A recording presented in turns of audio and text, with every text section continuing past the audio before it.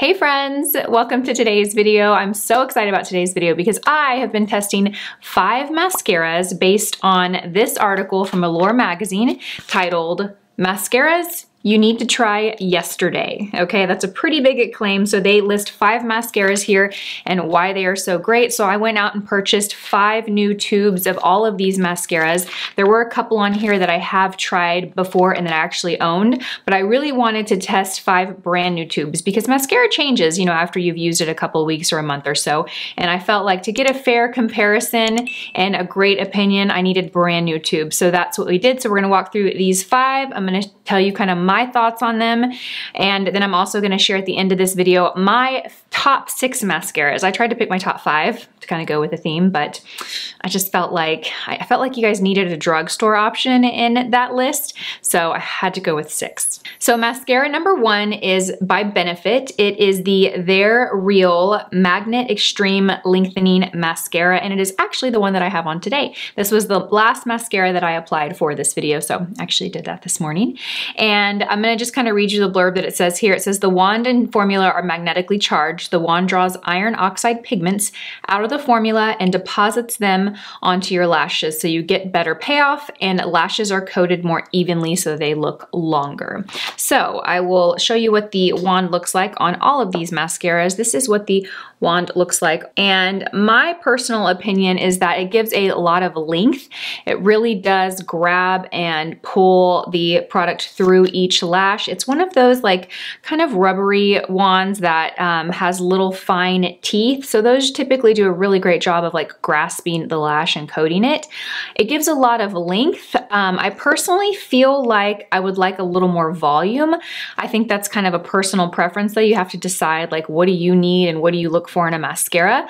I feel like it leaves a lot of um, kind of space between my lashes and I like a little bit more of a fuller look. Now, in each application that you guys will see as I'm talking about in this video, I did my right eye uh, with just the mascara and then I did the left with primer and mascara. So I wanted to show you how these built up over primer and each application I did really layer the product. So what you're seeing right now is, you know, a good like building up the mascara and the product as much as possible. So this is kind of the amount of volume or length that you will get uh, from each product. So this is the Benefit Mascara. I mean, it's not a bad mascara. Would I say that it is gonna be a favorite?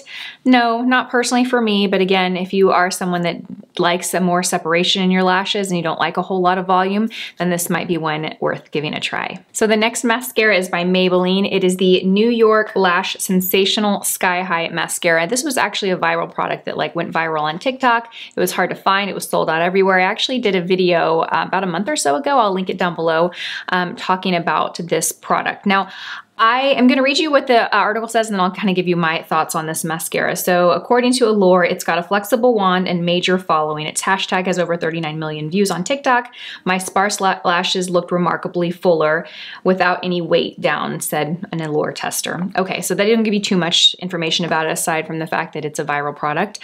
I didn't personally love this product. Um, I found that I didn't get a lot of volume from it.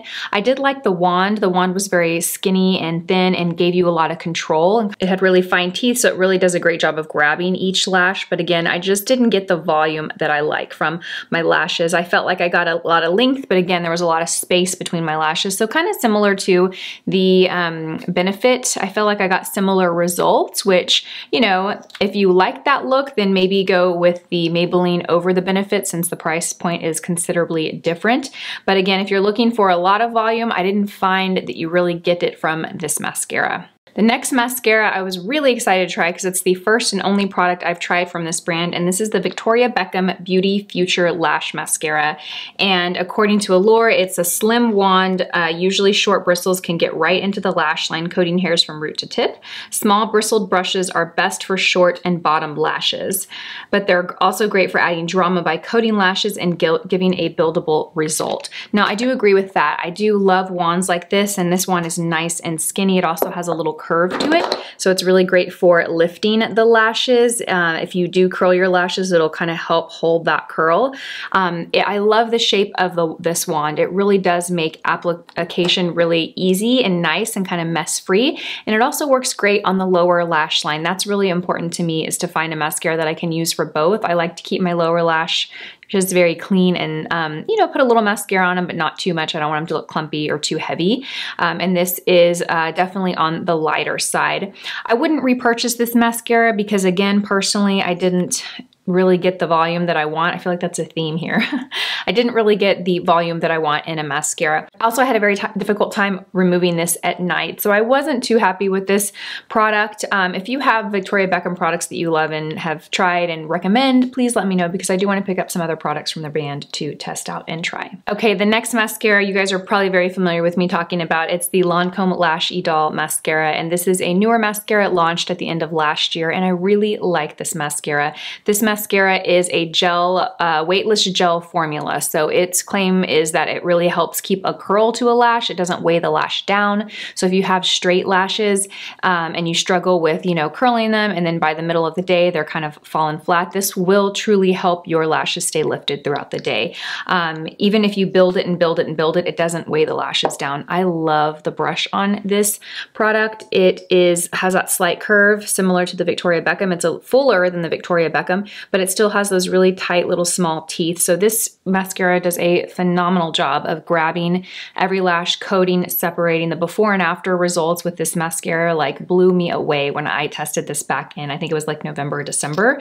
Um, really, really great mascara for lengthening. If you are looking for a really lengthening mascara, I would go with this one. You do get volume from this one too. It's not gonna be a mascara that you get like ton of fullness, thickness, um, but you are gonna get more volume, I think, than any of the others that I've shared so far.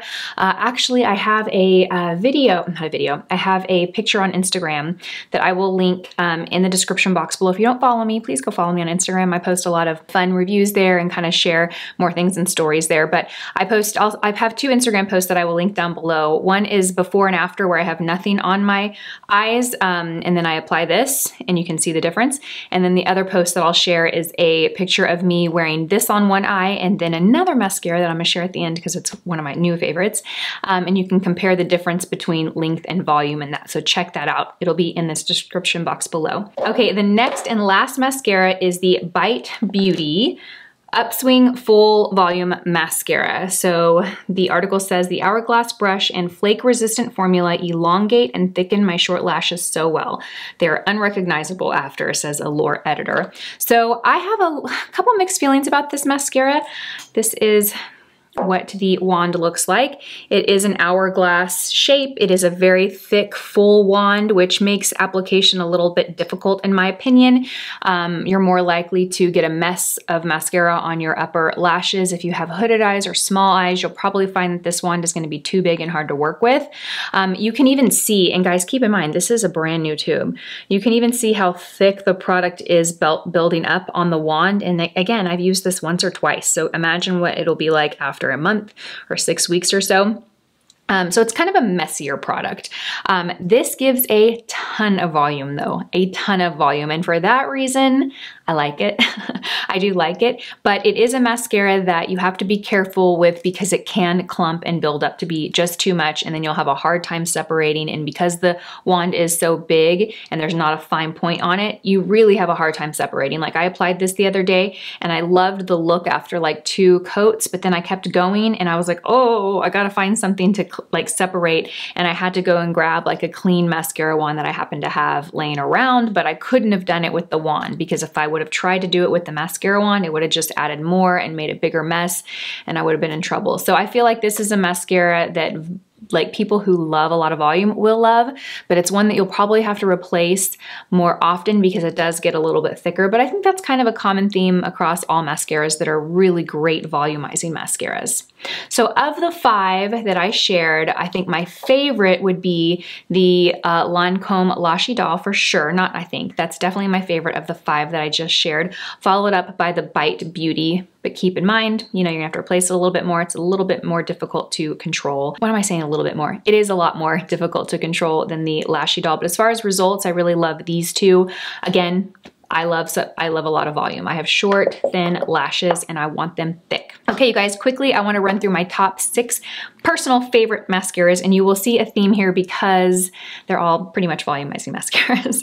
so the first one is the Tarte Maneater and I cannot believe that I don't have one to share with you, but if you've been watching my videos over the last six or eight months, you have heard me talk about this mascara all the time. It is a mega volumizing mascara. Lots of volume, lots of drama, gives the base of the roots a lot of like fullness.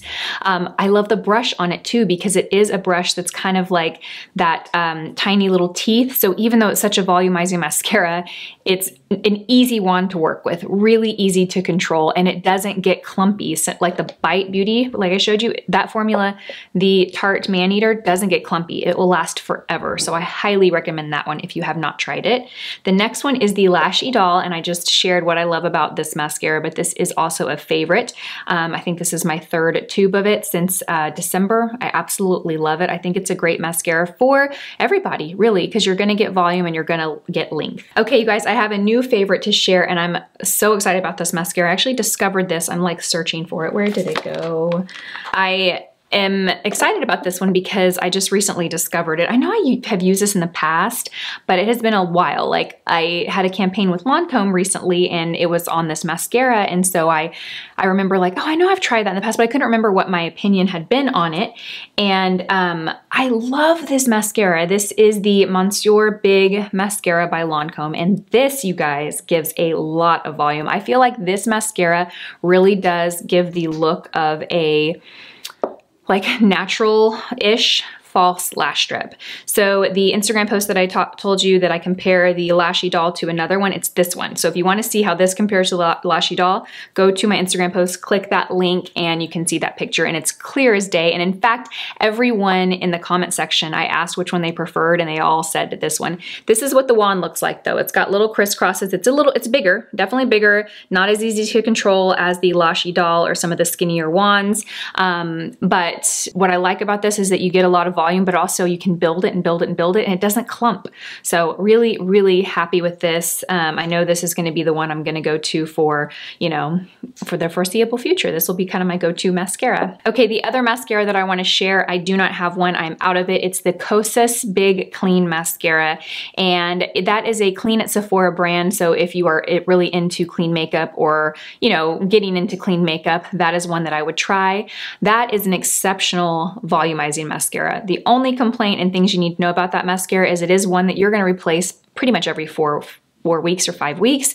If you don't, it does dry out. I feel like it dries out really quickly and it gets a little thicker. But as far as results, it's beautiful. I love it. I love the way it makes my lashes look. I feel like it really makes my lashes look a lot like the Lancome Monsieur Big mascara. So definitely try that one if you can get over the fact that you have to replace it a bit more often. Okay, so I have two more to share with you guys. The uh, and I, both of them I don't have with me, but um, they're actually kind of like a, a high-end and a dupe for each other, okay? So the first one is the Chanel Le Volume, and if you've been watching my channel for more than a couple of years, you know there was a period in time where I only talked about that mascara. It is such a great volumizing mascara. It has a pretty traditional looking wand. It's a little bit fuller, but it's not messy. That also is a mascara that I feel like lasts a very long time. It doesn't dry out.